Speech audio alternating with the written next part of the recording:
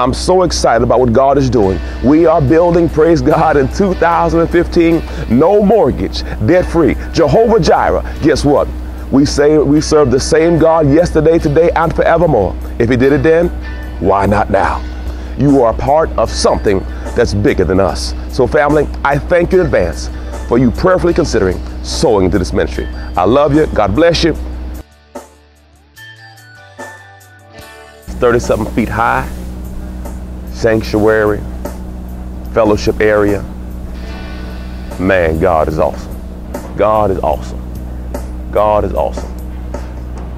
Classroom right over here.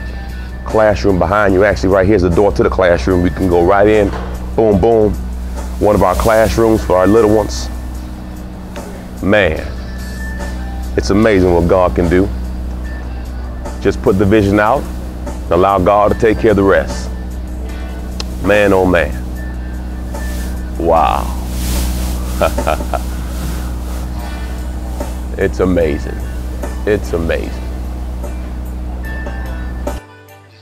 Have a great day. And remember, with God, all things are possible.